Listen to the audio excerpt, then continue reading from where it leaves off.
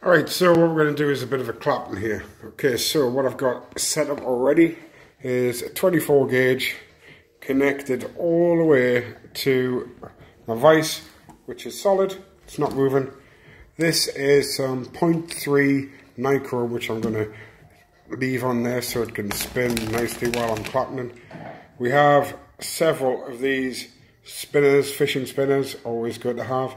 And the 24 gauge here is just tied on to one of these connectors.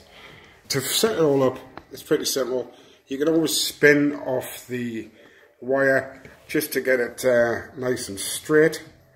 So it is quite loose in here. So all I'm going to do is insert this wire into here. Get it nice and straight.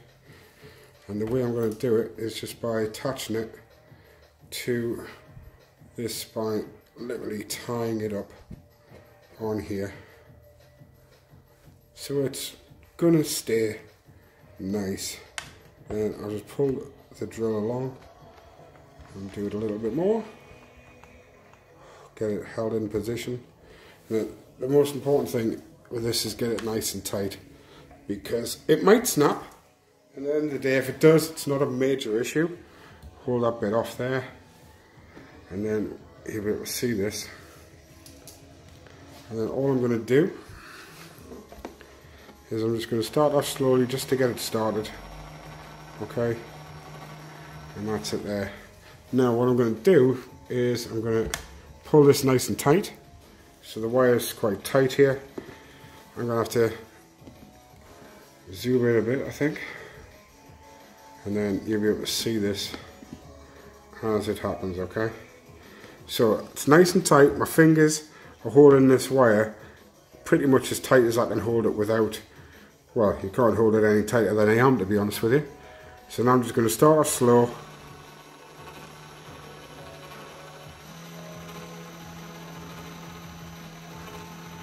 And what you can do is you can see it's holding it at a 90 degree angle and it's sort of like a minus so more towards the drill than away from the drill because if you hold it away from the drill you can see it's getting a bit of a gap. So I'm going to hold it back.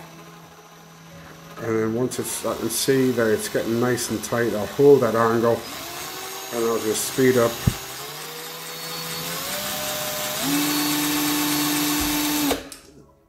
Like I said this is what might happen. Okay so it snapped. So it's not a major issue. All we do is undo this. That's come out. I'll zoom back out again. And what I'm going to do is I'm just going to push back in.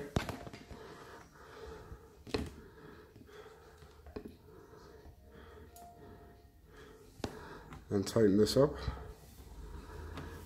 It does happen so just bear with it. Sometimes it doesn't happen but you know when you're doing a video it's guaranteed to happen. So again I'm just going to hold that tight start this off again and we'll take it throughout the whole end hopefully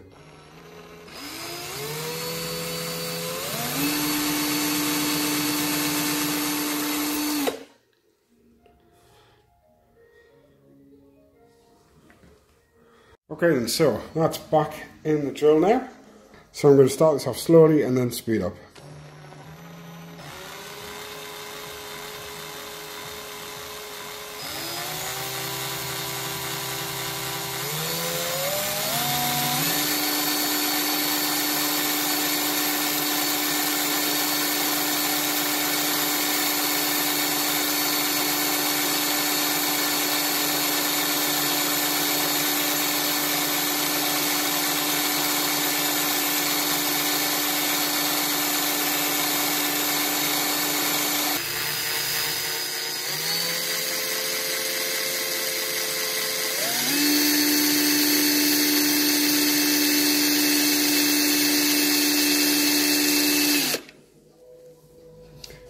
So, you can see down here, that this wire is a little bit caught up, so let's just fix that.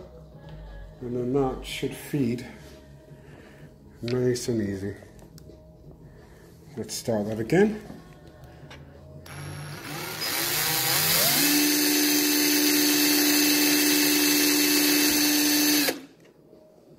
Let's come out again.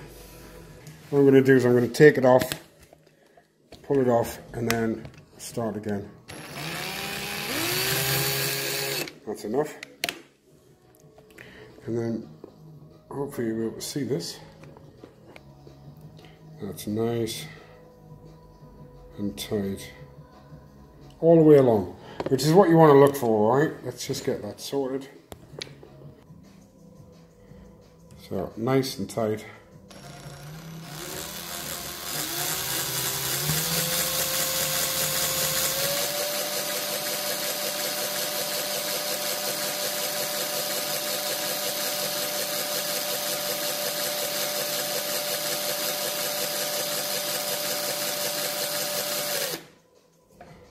See here.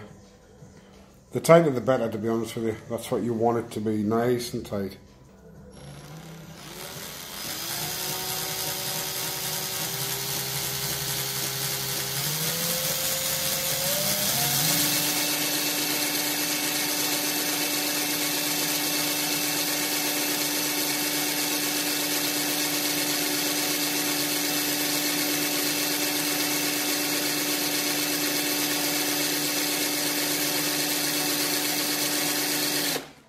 Right, so now at the end, so I'm just going to keep going and then I'll show you how to tie it off.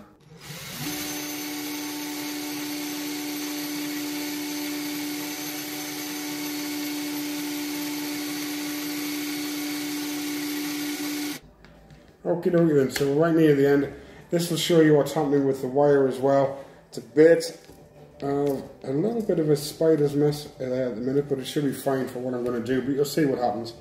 So as I'm doing it, this will automatically unwind itself.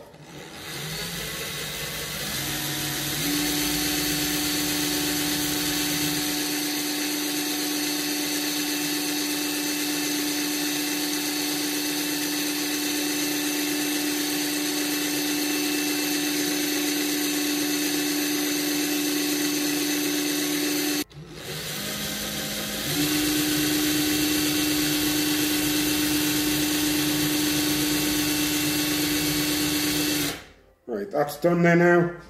All you've got to do is snip this off. And then keep a hold of this because you can undo that. The wire will spool if you don't. So make sure you wrap it up and tie it up. And I'll just drill a hole in here if I haven't got a bandaloon.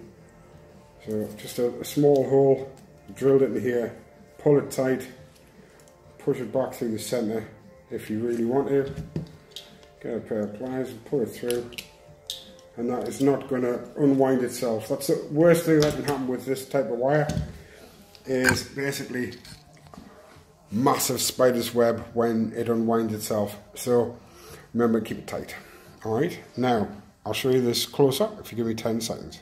Alright, so here's all of the spinners off now.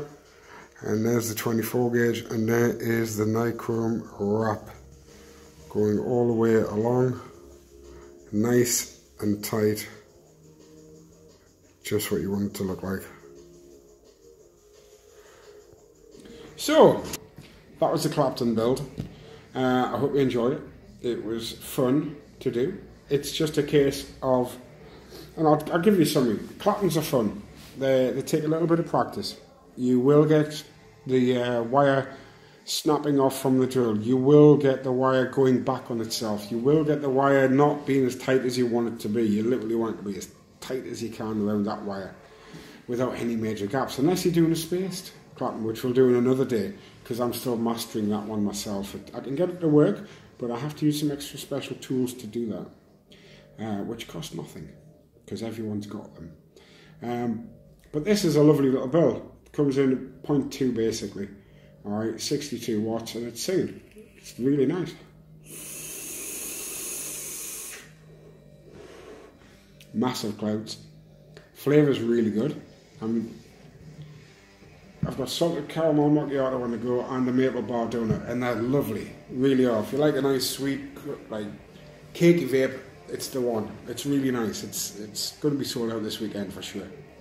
So, to summarize, the thinner gauge wire you use on the claptoning side of things, the easier it is to clap them. If you're using thicker wire, like I was using 0.3, it's quite thick that. Um, usually I use a 39 gauge, which is literally a 0.09, I think. It's like, it's less than a tenth of a mil. It's like angel hair, basically. But the beautiful thing about that is it's very malleable. It's very, you know, it's, it's very loose. It, you can, it doesn't sort of, as you can see with this, it, this is very springy, all right? It, uh, uh, ding, very springy indeed. The thicker the wire you use, the more you bend it, the more it's going to hold its shape. All right, this is the clap that I made. This is some twisted wire that I made. And again, this is very springy as well, but the thicker the gauge you use, the more chance of it holding that shape. So when you're doing the clapping, thin wire on the outside or doing the wraps, 24 gauge I think is one of the perfect um, gauges to use for the core. You can use a single core, you can use a twisted core. I could probably get away with this, which, if you can see this, if I hold it like that, you might be able to see it. So this is a twisted with 24 gauge and the wire that I use for the claptoning, the 0.39 9200. And that are clapton with the 39 gauge quite nicely. Okay?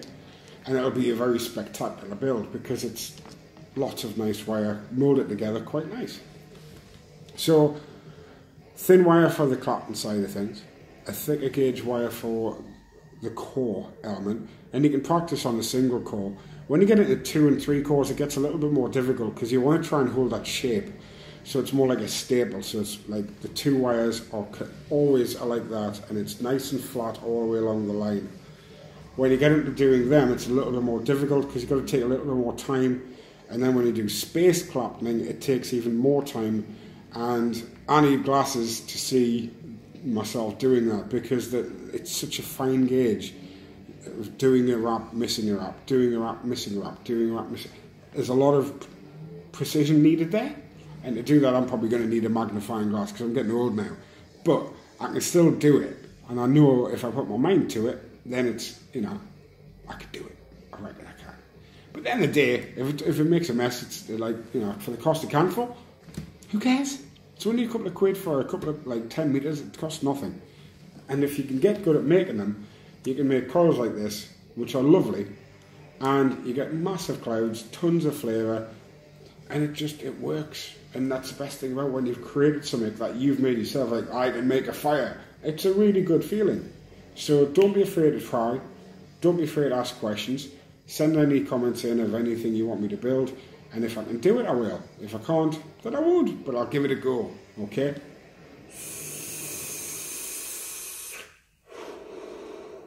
Yeah.